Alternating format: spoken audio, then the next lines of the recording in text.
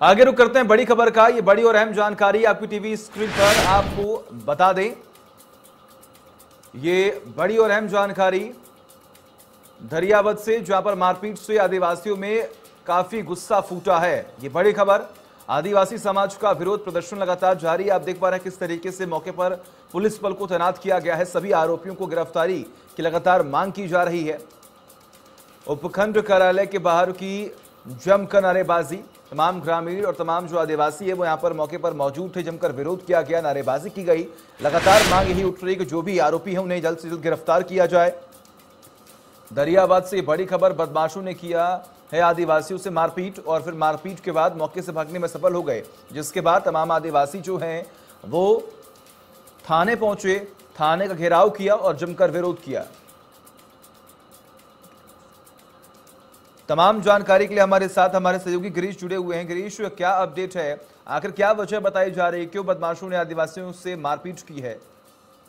जी, बिल्कुल, सचिन मैं आपको बता दूँ कि जिसे, जैसे कि दरियावद में पिछले दिनों जो है, एक निजी रिसोर्ट पर मारपीट की घटना जो है, वो सामने आई है। दरियावद नगर के समीप एक निजी रिसोर्ट पर एक युवक पर उसके समीप ही पेट्रोल पंप पर दो आदिवासी युवकों के साथ कुछ बदमाशों ने जो है, मारपीट की है।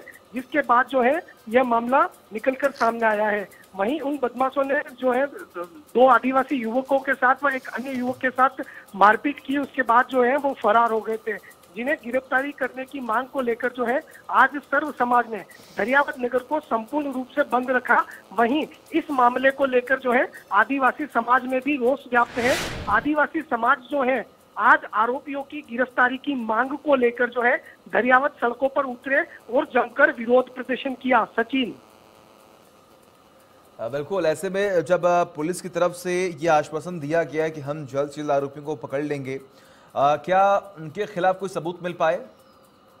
हाँ जी बिल्कुल सचिन मैं आपको बता दूँ कि जिस तरह से ये घटना जो है निकलकर सामने आई है उस पर पुलिस ने भी जो है तत्परता दिखाते हुए फ़िलहाल जो है तीन आरोपियों को गिरफ़्तार किया है हम्म। लेकिन जो घटना में जो कुछ कुल मिलाकर छह सात आरोपी जो है वो वो जो है सामने आ रहे थे पुलिस ने सभी आरोपियों को जो है गिरफ़्तार करने की मांग की है जिसे लेकर जो है आज आदिवासी समाज ने जो है जमकर विरोध प्रदर्शन किया और प्रशासन द्वारा ये आदिवासी समाज और सर्व समाज को ये आश्वासन दिया गया कि अन्य आरोपियों की गिरफ्तारी जो है जल्द कर दी जाएगी, सचिन।